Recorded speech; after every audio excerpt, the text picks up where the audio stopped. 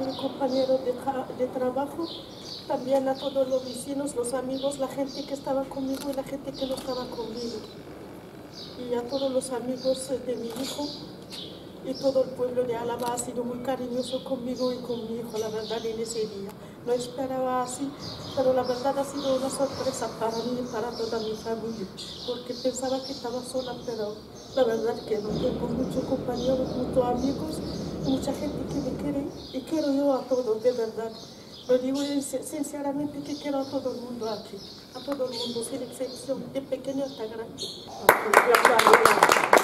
Estas han sido las palabras de Rachida, la madre de Rida, que este año, como en los anteriores, continúa participando en el campo de trabajo del yacimiento de las paleras. La visita institucional que se hace al Cerro del Castillo ha venido precedida del saludo del delegado del Gobierno, Diego Conesa, a Rachida, dado que este año el campo de trabajo lleva el nombre de su hijo, como así atestiguan las camisetas que este martes lucen todos los voluntarios. Llegados al cerro, la alcaldesa Mariola Guevara ha comprobado de primera mano cómo se están llevando a cabo las excavaciones y el tratamiento que se da a los hallazgos más importantes de cara a reconstruir la historia de Alama. Este campo de trabajo pues ya son muchísimos años lo que se está realizando desde el año 2006 y este año hemos querido dedicarlo a, Rida, un joven que perdimos hace unos meses y que era voluntario de este campo de trabajo junto a su madre y colaboraba en las actividades que aquí se desarrollaban. Eh,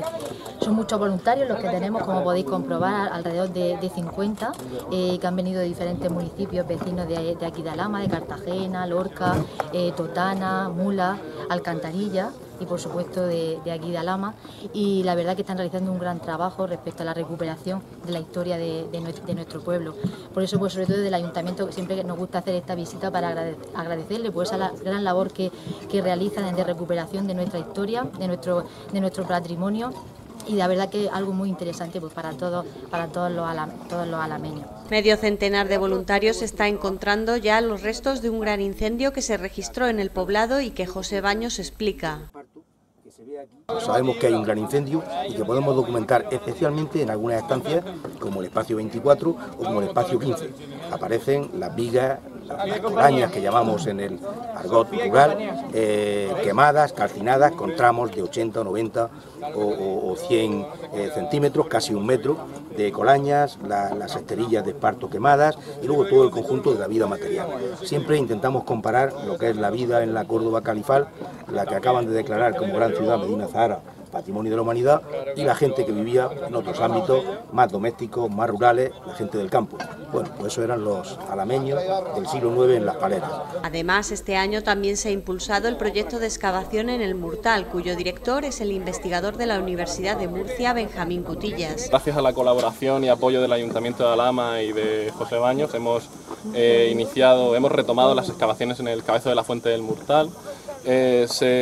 se, procedió a algunas intervenciones puntuales en los años 90, pero ha- ha- habían quedado, el yacimiento había quedado un poco abandonado y ahora con un nuevo proyecto de investigación sobre eh, la transición bronce final hierro antiguo en el Guadalentín y la zona litoral,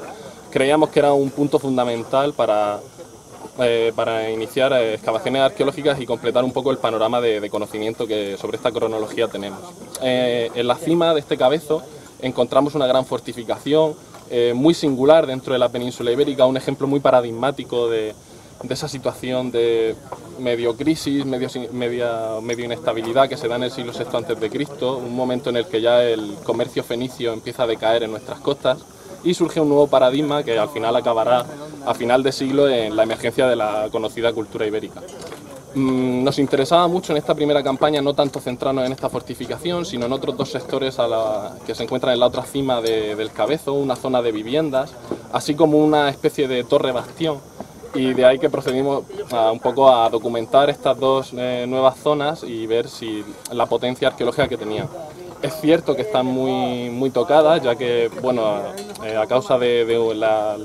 la pasada de una pala mecánica en los años, eh, seguramente finales de los 80, inicios de los 90, prácticamente destrozó gran parte del yacimiento, pero sí que tenemos la- las cimentaciones y ha sido muy interesante, eh, sobre todo en el conocido, en el que hemos llamado sector T, sector Torre. Hemos documentado una fortificación de unos 9,30 por 9,30 metros eh, de longitud, por tanto sería un gran elemento defensivo que viene un poco a constatar el poder del núcleo autóctono indígena que se desarrolla en la Rambla de Algeciras, muy eh, en paralelo a lo que se está dando justo enfrente, en el Castellar de Librilla. Y en el sector de las viviendas hemos hecho algunos cortes estratigráficos para conocer la potencia es cierto que aún no los hemos terminado, pero parece que los materiales nos están dando en esta, en este, en esta cronología incluso un poquito anteriores. Estamos hablando de la primera mitad del siglo VI, estamos viendo un hábitat de hace 2.600 años y cuya investigación esperamos continúe, ya que es un proyecto grande, pero que creemos que a medio plazo y en colaboración, por supuesto, con el Ayuntamiento de Alama y la Universidad de Murcia podremos acometer eh, sin fecha, ya que estas cosas dependerán mucho del ritmo de los trabajos, del ritmo de, obreros, de estudiantes. Y también bueno, valorar efectivamente que sirva como excavación arqueológica en la que forman a nuestros estudiantes de Historia y Arqueología, contamos con un nutrido grupo de ellos y que esperamos que el año que viene eh, poder aumentar este número, ya que esta primera campaña era un poco para evaluar cómo se encontraba el yacimiento, cuál era el estado de conservación y a partir de aquí dar el punto de arranque para a partir del año eh, finales del 18, inicios del 19, poder plantear ya trabajos eh, mucho más serios y más potentes.